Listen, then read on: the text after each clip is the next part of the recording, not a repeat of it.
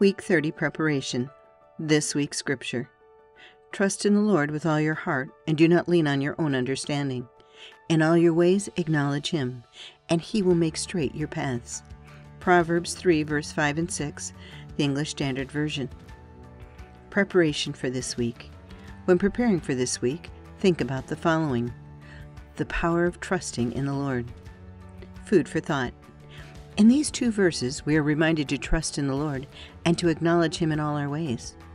It is a reminder that we must not rely on our own understanding, but rather put our faith and trust in God.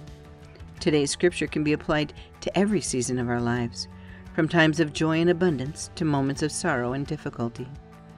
When life is going well, it's easy to become complacent and satisfied with all we have. But today's scripture encourages us to give thanks for what we have been given by recognizing that it all comes from the one who created us, God Almighty. When life is hard, this same verse gives us comfort and hope. We may not understand why difficult things are happening, but we can still place our trust in the Lord with all our hearts because He will make straight the paths before us. Instead of relying on our own flawed understanding, we can rest assured that God has a plan for us, even when circumstances seem uncertain or overwhelming. We can find strength in today's scripture by taking comfort knowing that no matter what we face in life, joy or sorrow, we can always turn to God for guidance and support. He will never leave us nor forsake us if we only set aside pride and ask for His help. Today's scripture reminds us to continually seek Him first and trust Him with every step of life's journey. At the end of the day, Today's scripture is a reminder to live our lives with an attitude of trust and faith in God. We must choose to rely on His perfect understanding instead of our own limited knowledge, especially when times are tough.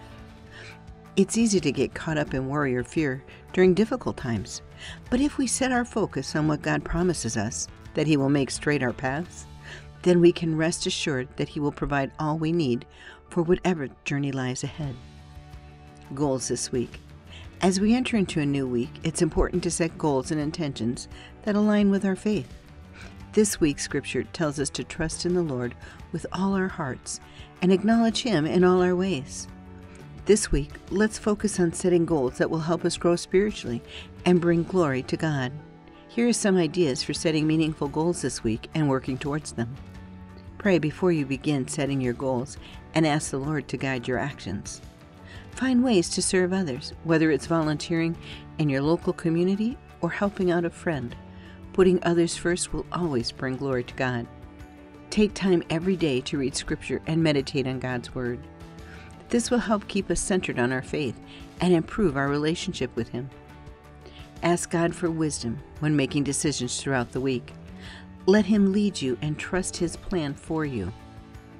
Setting goals this week should include God self care, and family. Sharing your successes with God and others is an important part of celebrating small victories. Dig a little deeper.